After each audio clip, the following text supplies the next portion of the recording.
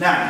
إذا لا زالت المرأة تعيش نوع من التمييز الحقوق تمييز في في المهام. دائما أنا لا زالت يعني الرجل ربما دائما له الأسبقية رغم أن هناك بعض المناصب وبعض المهام المرأة أولى بها.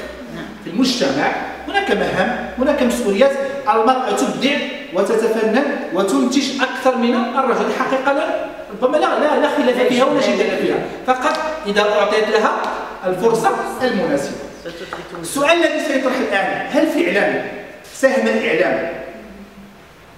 ممكن نقول الإعلام في ترويج الخطاب السياسي هل فعلا يعني ظهرت مكانة المرأة في هذا الخطاب.